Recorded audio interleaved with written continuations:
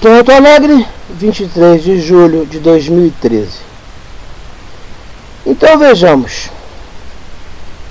O que fazer quando o cidadão é ameaçado dentro de um tribunal estadual, onde o intuito do tribunal é silenciar o cidadão, fazer com que o cidadão esqueça dos seus direitos. O que fazer quando isso é explícito quando se prova por, por documentação dentro do próprio processo que existe no tribunal a ameaça direta de que a pessoa deve esquecer os seus direitos, é, correndo risco, se insistir em procurar assistência jurídica, uma vez que o tribunal é, interdita, e de ser levado à força para o manicômio judiciário. Então vamos ver como é que funciona essa forma de repressão. Cidadão honesto entrega toda a documentação desde 2004. E o réu, que é protegido pelo crime organizado, é Arcanjo Pedro Brigman. Essa é a pessoa que deveria ser intimada, uma delas. Poderia ser igualmente Luiz Helena Malta Mol, tanto faz. Qualquer uma dessas pessoas poderia ser intimado.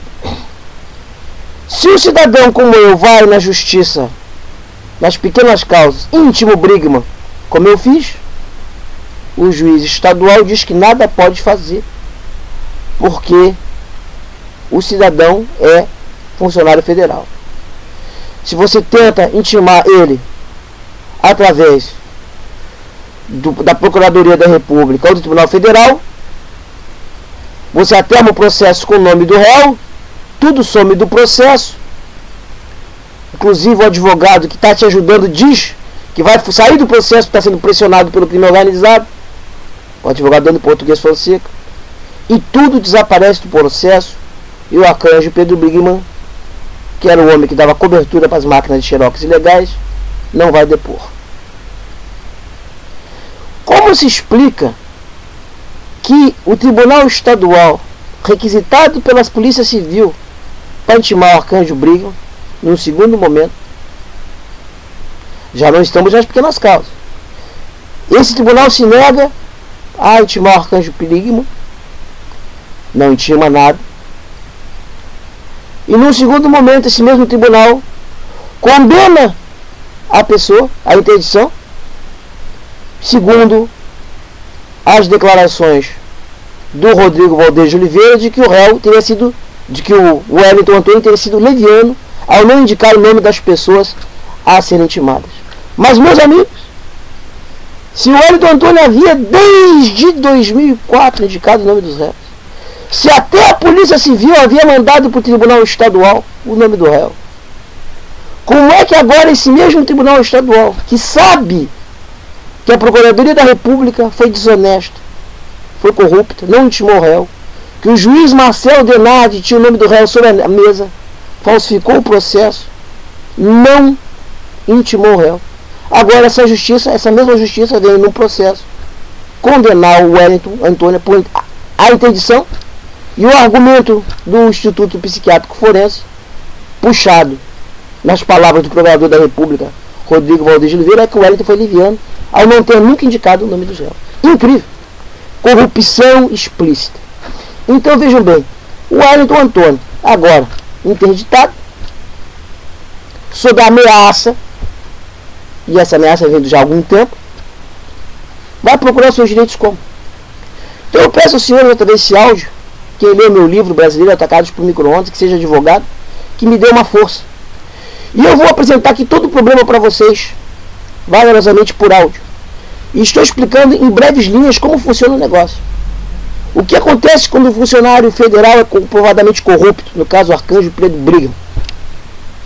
Você manda o nome dele para a Justiça Federal, a Justiça Federal nunca intima, nem em juízo, nunca intima.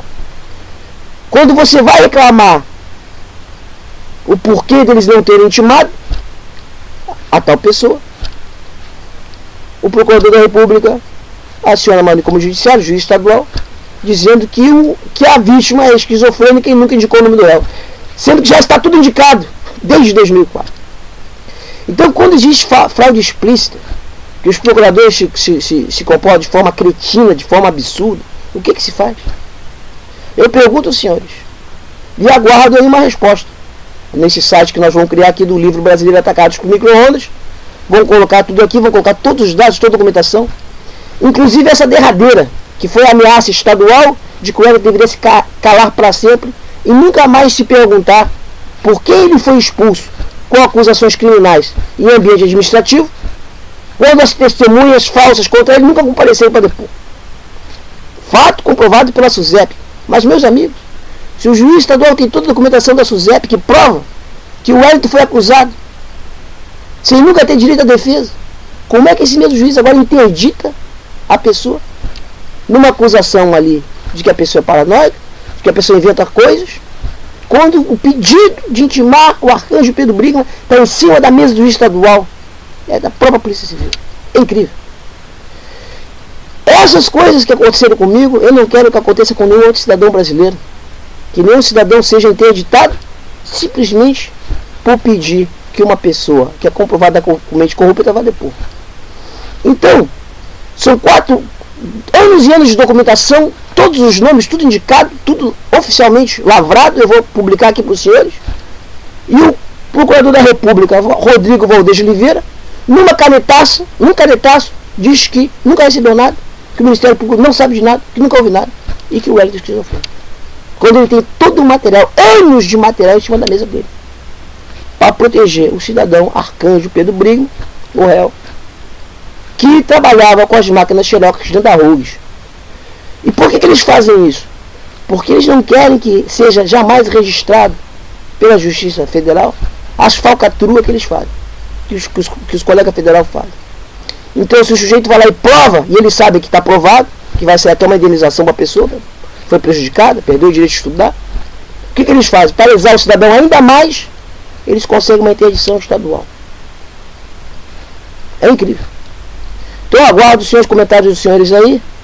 Vou tocar diante desse trabalho aí, divulgar direitinho toda a documentação, para os senhores analisarem e raciocinarem por si como é que se dá a venda de sentenças nos tribunais federais e estaduais, como é que eles conseguem burlar a lei tão descaradamente? Afrontar a lei. E não tem medo, está tudo registrado. Eu vou para botar toda a papelada para os senhores. Qualquer advogado poderia pegar meu caso e a indenização é certa. Contudo, contudo, a dificuldade de um cidadão como eu conseguir um advogado, é grande. Porque os advogados, quando vêm que tem juiz federal envolvido, que tem reitor de universidade envolvido, diretor de instituto de letras, os advogados não querem pegar o caso. Ó, falei com vários. Ó, se eu pegar o teu caso e ganhar, eu não ganho mais caso nenhum, porque isso é crime organizado. Então, nesses casos, o advogado tem até medo de pegar um caso desse. Porque você tem o direito, você está com a razão, e aí está se batendo com gente muito forte, muito poderosa, que tem muito dinheiro. É incrível. Até a próxima áudio, então.